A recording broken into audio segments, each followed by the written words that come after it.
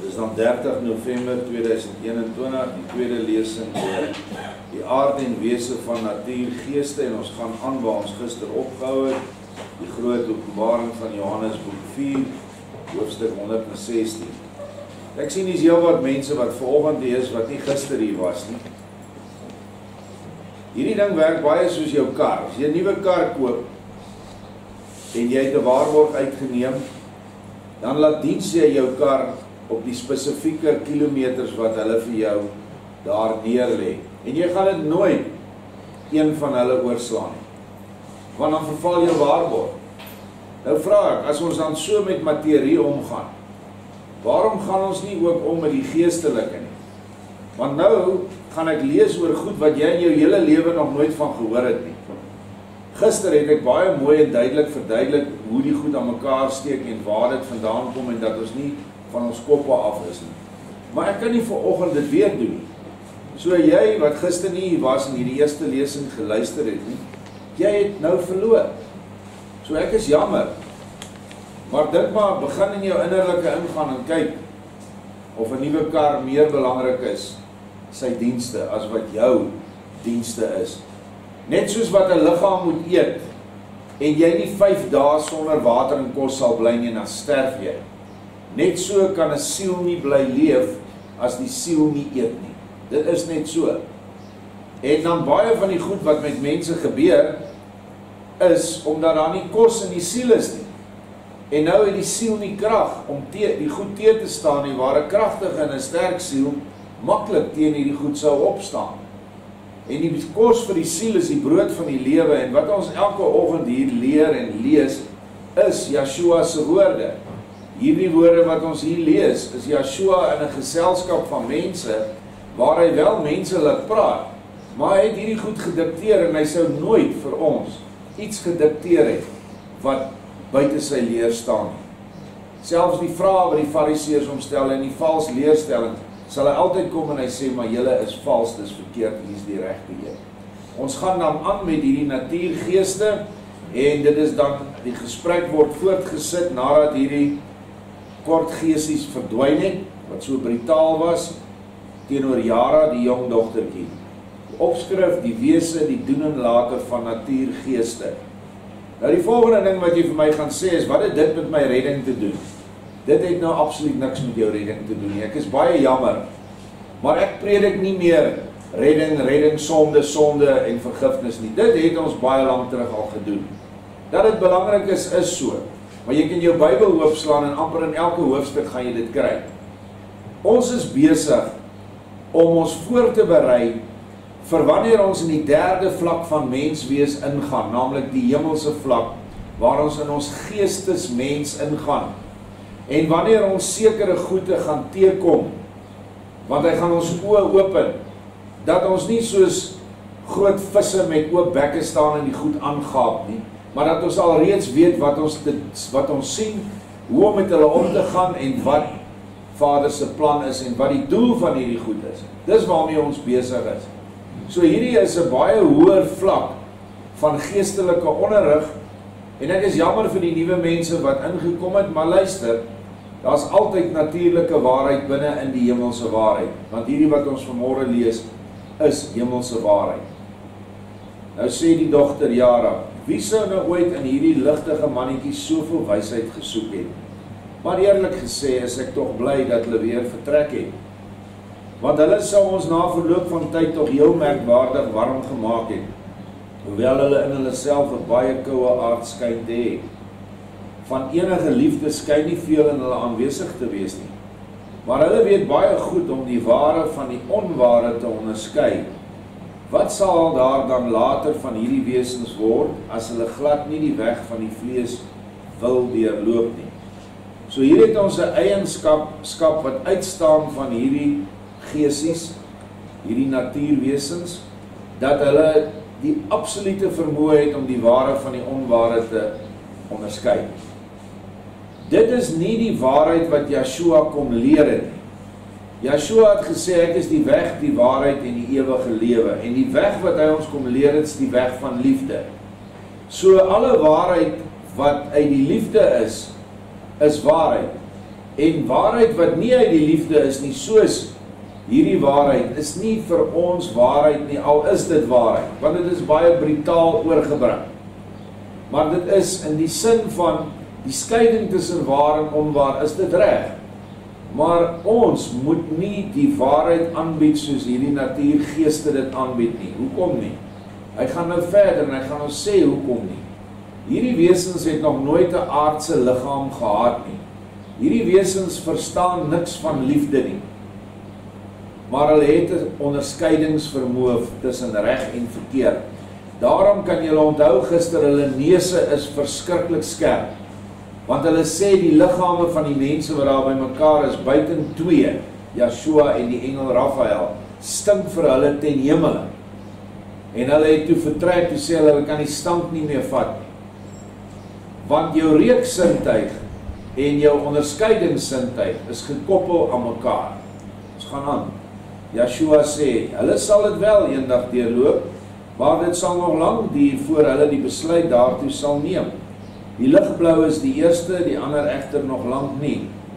Want die siele wat so uit die natuur van hierdie aarde ontstaan het en daagliks ontstaan, kom baie moeilik tot so 'n besluit.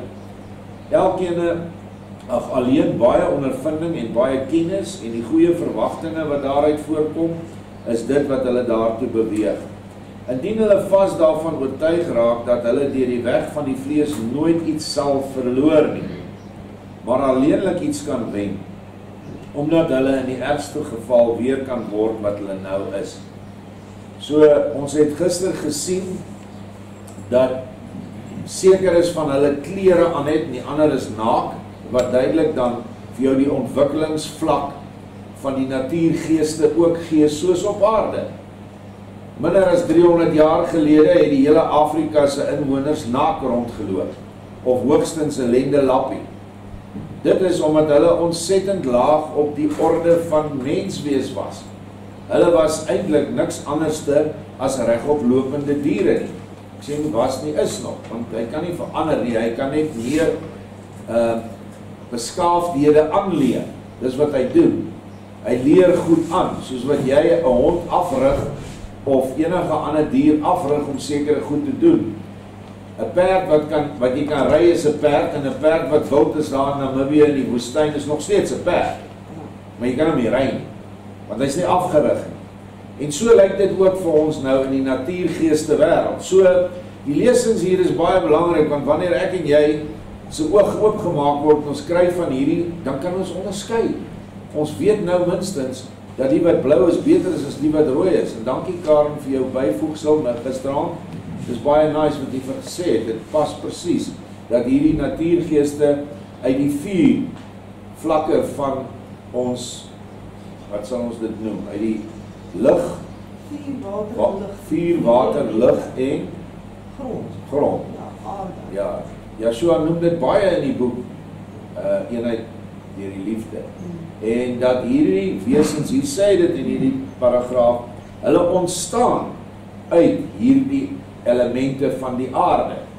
So die aardselemente is die vier wat ons nou genoem het. En ons het nou in die vorige lesing gesien dat daar 'n sekere mistigheid plaasvind en dan maak al hierdie geestesdeeltjies kom by mekaar. Maar ons sal nog verder daaroor lees. Hierdie natuursiele, o ja, baie belangrik, as die natuursiel dalk besluit ek wil nou 'n vleeslike liggaam hê, dan kry hy dit. Net soos wat enige wese op enige planeet of enige geeste sweer kan besluit om aarde toe toe toe te kom. En dan word hy gebore in 'n familie, in 'n moeder wat dan die kind dan grootmaak maar hulle kan nie hel toe gaan. Dit lyk dat in die ergste geval hy net weer word wat hy was. So dit is op daardie voorwaarde waar hierdie siele dan hulle eerste vleeslike lewe dan aanpak. Hulle is baie bang om alles te verloor. Want een van die eerste goed wat jy moet instem wanneer jy na hierdie aarde toe kom, elkeen van ons, is dat jou geheue aan jou vorige lewens in die oneindigheid dat jou geheue weggevat word. Jy niks meer daarvan onthou nie. En dit is iets blykbaar wat hierdie ouetjies glad nie van hou nie. Hierdie natuursiele hou hulle meestal die graagste in die berge op. Maar kom ook in die wonings van eenvoudige, arm, beskeie mense en help hulle. 'n Mens mag hulle net nie beledig nie. In daardie geval sal die mense nie met hulle oor die weg kan kom nie, aangesien daar met hulle nie goeie kersies te eet is nie.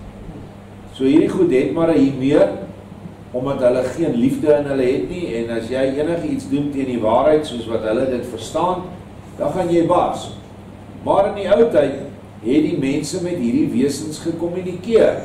Dit is hoekom daartoe sulke uh verhaaltjies geskryf is.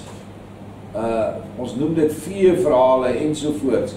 Want dit is eintlik net ervarings van geestesryk mense wat hulle dan vir die kinders vertel. En ek het nou in die afgelope tyd van baie mense gehoor hoe hulle sê as kinders het hulle hierdie goed gesien. En dan lag die ouers vir hulle sê, "O, jene, hy sal weer sy denkbeeldige maatjie hê. Hy hy droom weer."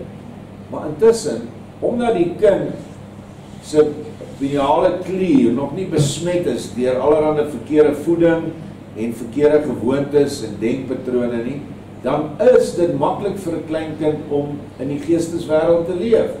Inteendeel, Yeshua sê die eerste jaar leef die kind ongeveer heeltyd in die geesteswêreld. Terwyl hy kind slaap, is hy nie in 'n slaaptoestand nie. Hy is tussen die geeste waar hy was. En is hy baie gelukkig. En dan na mate hy gewoond raak aan die wêreld, kan begin praat ensovoorts, dan onttrek hy of Vader laat hom dan onttrek van van daardie wêreld. Hulle besoek heimlik ook skole vers 5 en leer baie van die mense. Aan die mynwerkers toon hulle dikwels die beste en rykste metaalare. Ook op die Alpe help hulle die herders en die weidiere, mits mense hulle maar net nie beledig nie. Nou dis baie belangrik wat ons dan hier sien, hulle besoek skole, so hulle sal hierdie skool ook besoek.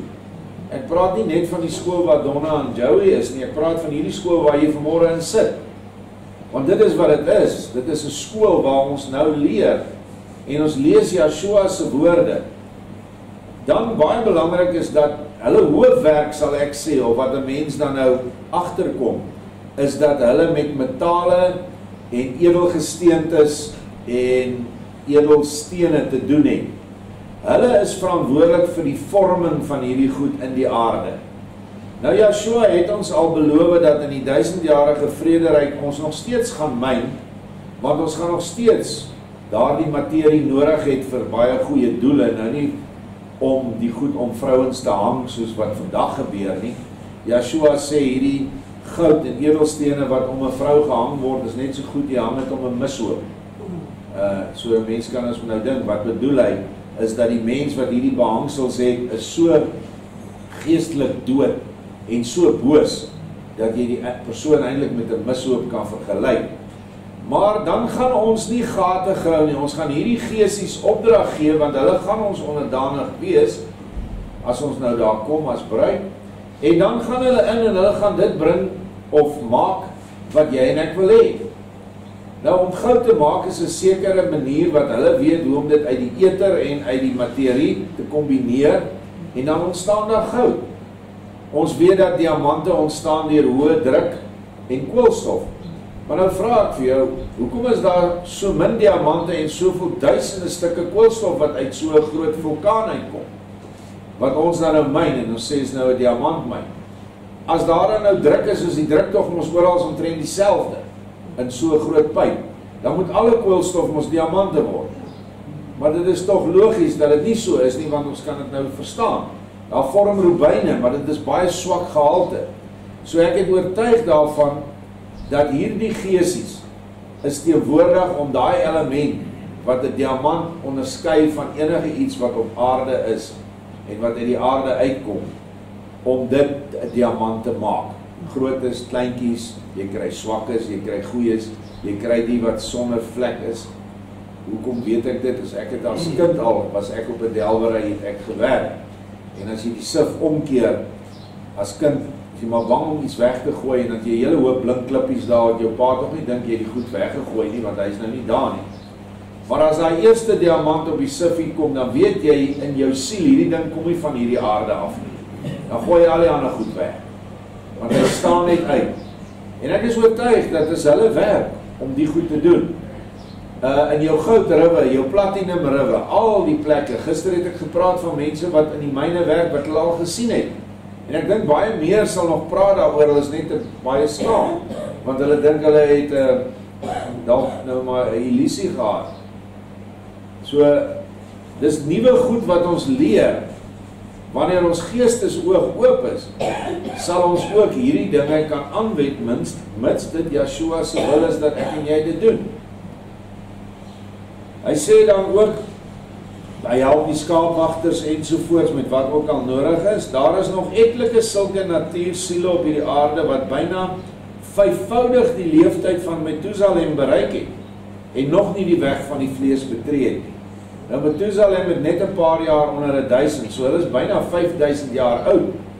Maar hulle wil nog net daai werk doen wat hulle doen.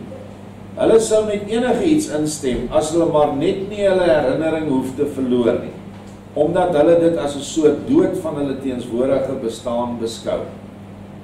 Nou weet julle egter ook hoe dit met hierdie wesens gestel is, let nou op wat volgende die volgende wat gaan kom.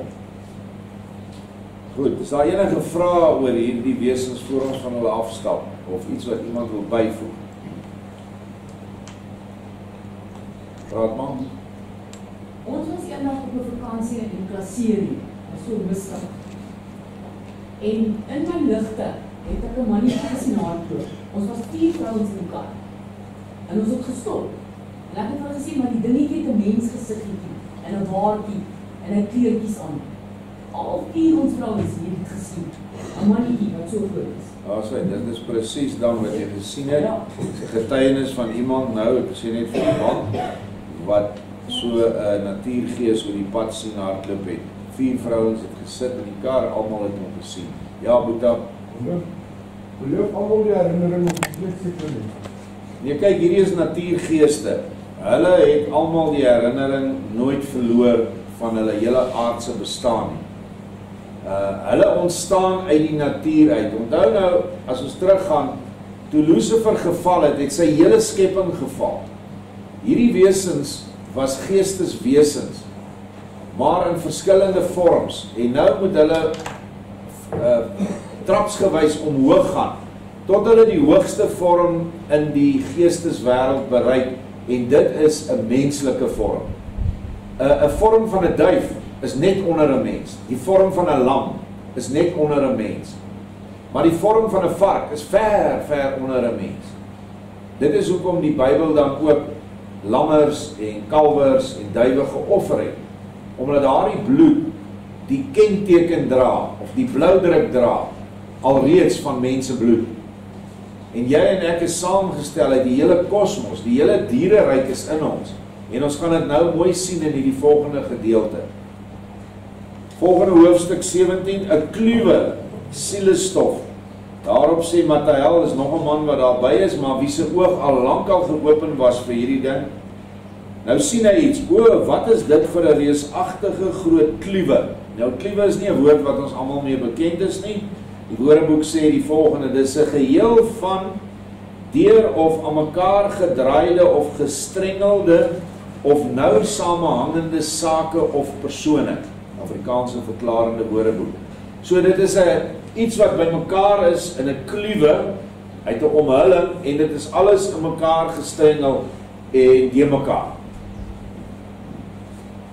Hy sê hier kom hierdie ding uit die omgewing van die stad hierheen sweef hierheen. Dit kom steeds nader.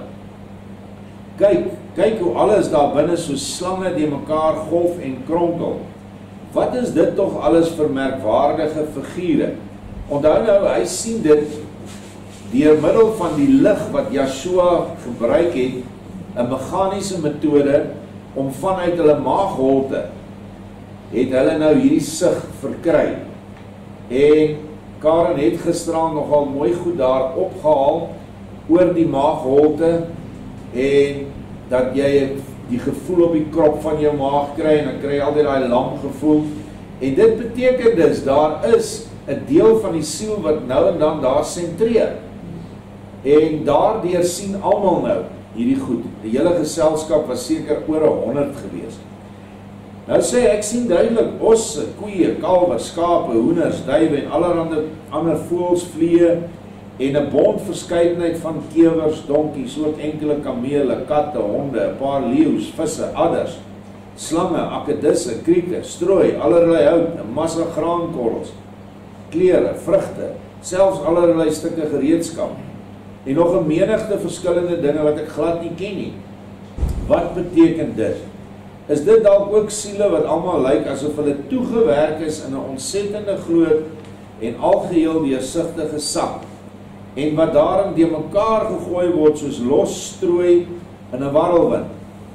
Onthou hierdie is nou 'n geestelike kliewe. Jy gaan dit nie sien met jou bloot jou jou jou fisiese oë nie. Hulle sien dit nou in die gees. En nou vra hy wat is dit? Want hy het nog nooit so iets gesien nie. Nou sê Joshua dit is siele of respektiewelik geeste van 'n laer orde in die vorm van 'n geselskap van ongelukkiges wat nog 'n rukkie bymekaar bly en eers dan uitmekaar sal gaan as dit in die duidelik sigbare voedingssak ryper geword het. Nou waarvan af het hierdie kliewe vandaan gekom? Dit het van die stad Caesarea Philippi afgekom. Nou ek het nie al die geskiedenis nou hier ingesluit nie, ek gaan dit net kortliks noem. Joshua laat 'n storm oor daai stad kom wat feitelik alles alles vernietig het. Buiten die arme mense se huise het gestaan. Maar al die tempels wat hulle daar gehad het, afgode tempels, die Joodse tempels, al hulle huise, ontsettend baie priesters, al hulle vee, soos wat ons nou lees, al hierdie goed wat jy nou van gelees het, alles is dood. Nou wat gebeur met hierdie goed wanneer hulle doodgaan? Ons weet nie, ons skiet 'n bees dood of ons slag 'n ding of dit. Ons weet nie wat gebeur met hulle nie. Nou hier sê hy vir ons dat al hierdie goed wat in 'n nag dood is, want dit was een nagstorm as ek dit nie mis het nie, 'n dag en 'n nag. Al hierdie goed het nou in so 'n kliewe versamel. Want hulle is in die middel van hulle lewe is hulle weggevat. Hulle moes nog ryp word, van hulle moes nog ouer word ensovoorts. Nou is alles in een sak. Wat ons nie lees wat hier is nie, hier's nie mense nie. Dit is alles laer orde geeste. Nou hy sê hulle gaan nou ryper word in hierdie sak. Alles wat op die wêreld ook maar ergens hoe ook al bestaan is siele stof. Of dit nou 'n stuk hout is en of dit vrugte is of wat, dit is alles siele stof. Indien daar stoffelike samehang, dit is die kohesie wat dit nou aan mekaar hou. Miskien net daar verduidelik hoekom is hierdie 'n uh, katedertjie waar ek sit, die hout, hoekom is dit hout? Dis tog mos nie aan mekaar vas nie. Julle het almal op wetenskap in die skool, laerskool al geleer dat molekules is nie vas nie.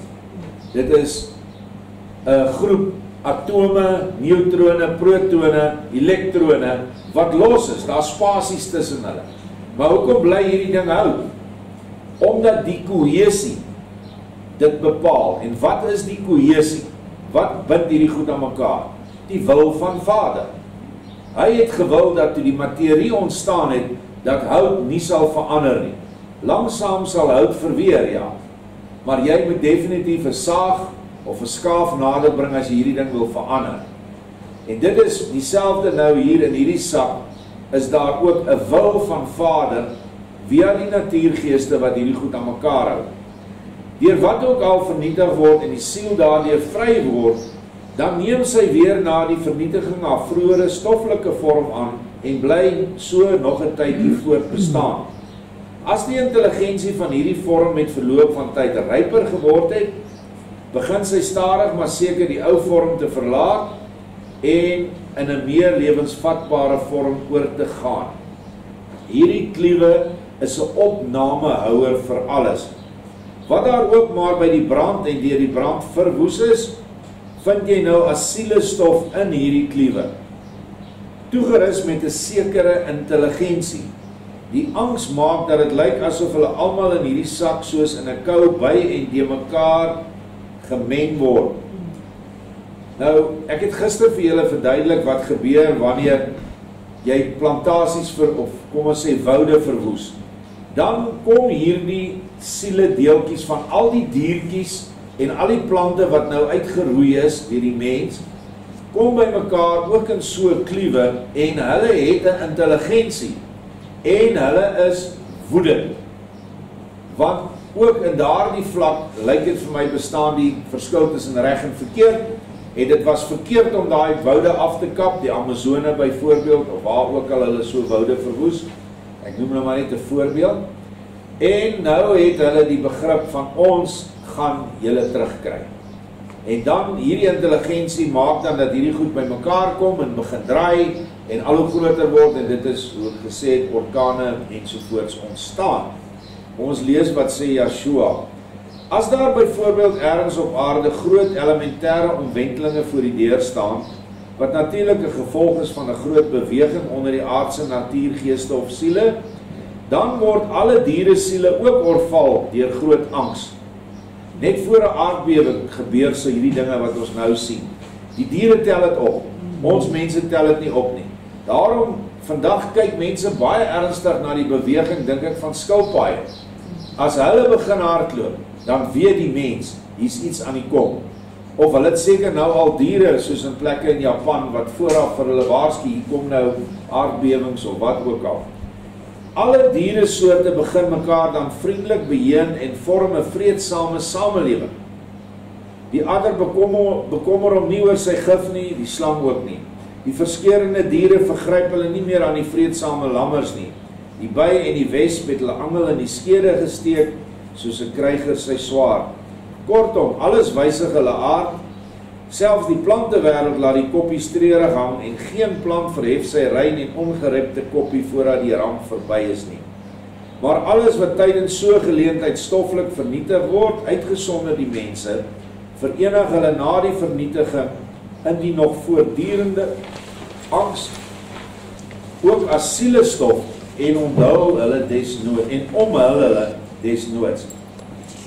As so losse kliewe met siele dan ongeveer 'n eeu lank rondgesweef het, het die oorspronklik ongelyksoortige siele elemente mekaar meer wederzijds aangetrek en begin hulle stadig maar seker te verenig en vorm dan een of wel meer kragtige natuurmense siele. Let wel, dis heeltemal iets anderste as mense siele. Nou hier het Lorber die vertalers van Duits na Hollands toe het die volgende ingesit wat nogal belangrik is. Lorber gebruik soms nuwe uitdrukkings soos natuurmense siele of natuursiele wat deur ons letterlik vertaal word natuurmense siel. Is 'n siel wat na die deurloop van tallose ontwikkelingsstadia binne die natuurryke van die mineraalplant en dier vir die eerste keer in 'n mensevorm verskyn So siel het dan nog geen voortbestaan as mens geken nie, nog op aarde, nog op 'n ander planeet. En nou het ons hierdie mannetjies wat ons nou die vorige lesing behandel het en vanoggend het ons dan nou die ontstaan van hierdie goed sien ons nou.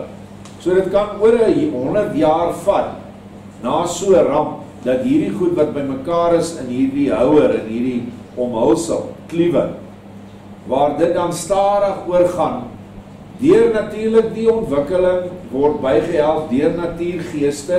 Dit vind nie net so plaas nie. Onthou alles is in die gees en hierdie goed kan ontwikkel van 'n laer stadia na hoër een. In die vleeslike werk dit nie so nie. In die vleeslike word die omhullings die liggaamlike vorm geskep deur Vader via sy engelgeeste en natuurgeeste. Hulle dra daarby hulle help daarmee. So nou het ons hierdie natuurmense siel. Dit wat jy nou gesien het wat oor die pad gehardloop het mevrou, daardie ding het so ontstaan.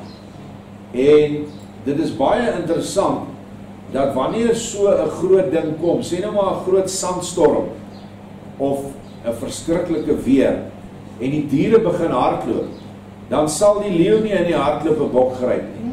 Hulle hardloop om weg te kom van dit wat nou aan die kom is. En dit is presies wat nou in so 'n kliewe plaasvind. Die een sal nie die ander ene verorber nie. Nou ja, vers 7 hier voor ons swewende kliewe bevat alles wat deur die brand van Caesarea Philippi verwoes is. Alles, dit was 'n groot stad hoor. Ek dink daar was 'n paar honderd duisend mense in daai stad. Hierdie kluwe sal tot by sy volledige ontwikkeling goed meer as 100 jaar nodig hê. Maar dan sal ook meer as 100 ryk natuurmense siele die tere omhulsel deurbreek en nog eers ongeveer 100 jaar later ons weg deur die vlees deurloop as hulle wil. Dis my mooi hierdie is breek die tere omhulsel dink ek aan 'n kuiken wat by die eier uitkom nê dopbreek. Nou ek wil daar stop en dan wil ek na Handelinge 10 vers 9 gaan. En nou kan ons verstaan wat Handelinge 10 vers 9 is en nie wat die kerk vir jou geleer het nie. Handelinge 10 vers 9. Ou Petrus kry 'n opdrag, hy moet vir Kornelius gaan doop. Maar hy's onwillig. Die man is nie lus daarvoor nie. Want hy het seker hierdie Kornelius geken en geweet dat hy nie een van hulle is nie. Hy was definitief dan nie 'n Judeer nie of 'n Benjaminiet nie. Ons lees vers 9. En die volgende dag, terwyl hulle op pad was en naby die stad kom, het Petrus omtrent die 6de uur op die dak geklim om te bid. En hy het baie honger geword en wou eet. En terwyl hulle besig was om klaar te maak, het daar 'n verrukking van sinne oor hom gekom. Dit beteken hy is geruk uit sy vlees uit in die gees in. Soos wat hierdie mense wat nou by Yeshua sit, het nou kan ons sê 'n verrukking van sinne ervaar deurdat hulle deur hulle maagholte al hierdie goed nou aanskou. Dit is 'n verrukking van sinne. Die sinne is die natuurlike sintuie. Hy sien die hemel hemel geopen en 'n voorwerp soos 'n groot laken sien julle 'n kluwe na hom afdaal wat aan die vier hoeke vasgebind is en op die aarde neergelaat word. Daarin was al die viervoetige diere van die aarde en die wille en kruipende diere en die voëls van die hemel. Is dit nie presies wat ons nou van gelees het nie? Wie sal dit dan ooit kan verstaan as ons nie die nuwe openbaring gehad het nie? Toe hoor hy kom daar 'n stem na hom, staan op Petrus, slag en eet. Petrus sê nooit nie my meester, want ek het nooit iets vermeng of besoedeld geëet nie. En weer het die stem vir die tweede keer na hom gekom. Wat Elohim God gesuiwer het, mag jy nie vuil ag nie.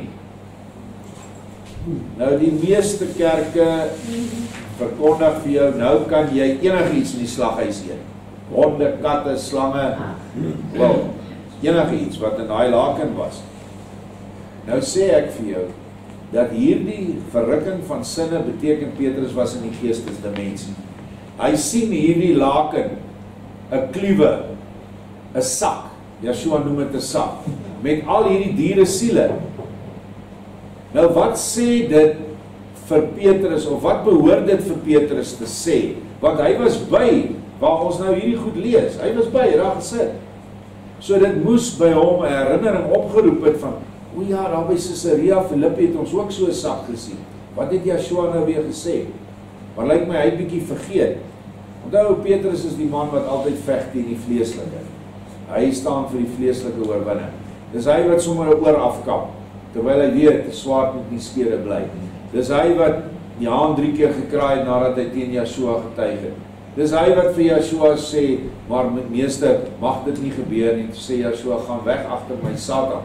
Toe praat die bose deur Petrus. Nou dis ons. Ons moet nooit onsself, ons moet nie neerkyk op Petrus nie want ons is elke dag nog slegter as hy. Nou ja, wat sê hy vir hom slag en eet? Wat beteken dit wanneer ek visse vir Vader bring?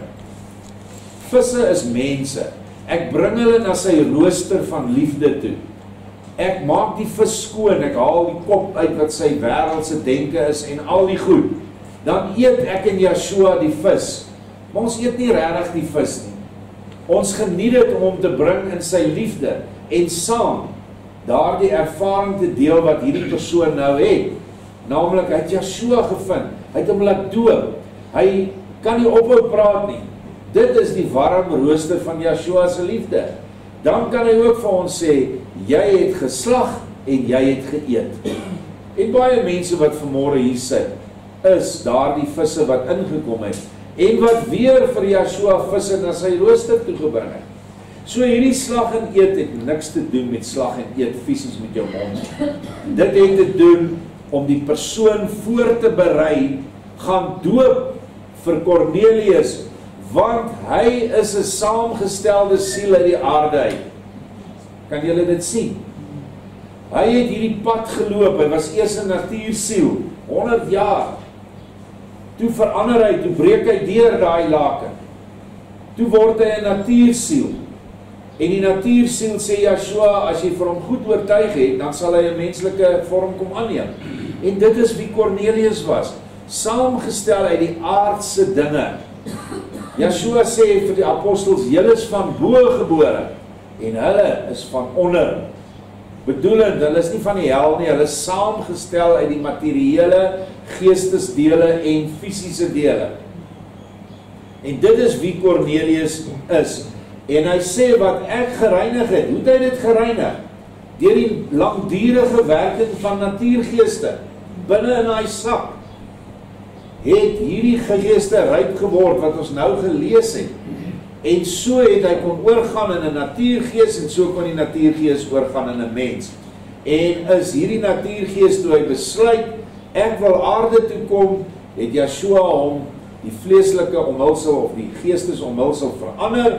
Hy het 'n kolletjie geword soos 'n 'n kop van 'n spel en hy's in 'n baarmoeder geplaas waar 'n verwekking plaasgevind het en nou het 'n siel lewend begin word in 'n baarmoeder. En dit is dan die pad wat die mens loop. So ek hoop jy verstaan nou dat dit nie is dat jy nou enige ding in die slaghuis kan koop nie. Want dit is wat hulle gewoonlik hiervan sê. Ons gaan aan by groot vuurherde voor vier spuwende berge en ook by groot oorstromings vorm sulke kliewens altyd van self. As daar weinig dierlike elemente daarin aanwesig is, duur die omvorming langer. As daar egter dierlike elemente by betrokke is, soos hier, duur dit gewoonlik korter. Ook is dit nie so dat uit kliewens waarin geen dier aanwesig is, nogtans natuursiele sal ontwikkel nie. Daar kan ook natuur dieresiele of self slegs meer edele plantesiele ontstaan welke laaste gewoonlik uit verrottingsdampe of uit allerlei sogenaamde vulkaniese dampe en rookmassas ontstaan. So dan moet diere teenwoordig wees om 'n natuursiel uh te maak want dit is die hoogste vorm bokant materieel kry jy plant en bokant plant kry jy dier en dan kry jy natuurgees en dan uit die natuurgees kan jy dan 'n menslike vorm aanneem en dan in 'n mens gebore word. Let wel, mense wat van bo gebore is, gaan nie daardie pad nie.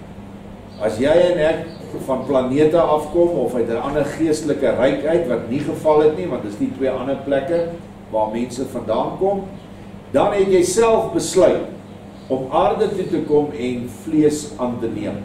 En dan is jy in 'n baarmoeder geplaas ooreenstemmend jou potensiaal. Hy gaan nie vir jou in Soweto sit as hy jou in 'n baie hoogs edele familie wou sit. En dit is nie noodwendig 'n ryk familie, dis gewoonlik juis die arm families waar die engelgeeste in geplaas word en van hierdie planetêre geeste. Ek gaan net tot daar lees want ons tyd is verby. Gaan lees egter hierdie goed verder sodat jy meer insig het oor hierdie dinge wat vir ons almal nog vreemd was maar wat wel aangeraak word in Handelinge 10. So jy kan nie vir my sê die Bybel praat nie hiervan. Die Bybel praat baie duidelik hiervan, maar niemand het dit tot nou toe verstaan of tot jy die boek 4 van Lorber gelees het en by hierdie goed uitgekom het. Baie dankie.